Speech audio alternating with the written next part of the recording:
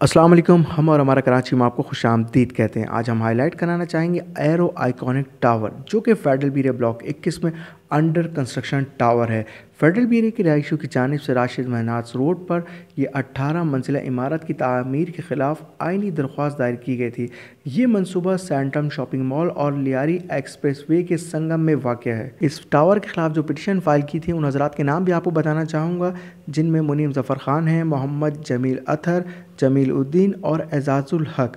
और इस केस की नुमाइंदगी कर रहे हैं एडवोकेट उस्मान फ़ारूक। और दरख्वास्त गुजार ने दावा किया था कि ये इमारत पार्क और सर्विस रोड की जगह पर गैर कानूनी तौर पर कायम की जा रही है। और के का उन्नीस सौ बहत्तर का मास्टर प्लान ज़ाहिर करता है कि ज़मीन को सहूलती और सर्विस रोड के लिए निशान जद किया गया था। मगर उसके बावजूद भी ये ज़मीन पर अभी भी कंस्ट्रक्शन हो रही है। यकीनन आप हजरात ने भी सफ़र के दौरान इस बिल्डिंग को सालों से अंडर कंस्ट्रक्शन की सूरत हाल में ही देखा होगा। और उसकी एक बड़ी वजह इंक्रोचमेंट की जगह पर टावर बनाना है। लिहाजा शहरी और बायर देखभाल कर इन्वेस्टमेंट करें, क्योंकि कभी भी किसी भी गवर्नमेंट में इस टावर को भी लपेट में लिया जा सकता है। और आज ज़िंदा मिसाल नस्ला टावर मौजूद है। एरो आइकॉनिक टावर पंद्रह स्क्वायर गज के रकबे पर पहला हुआ प्रोजेक्ट है।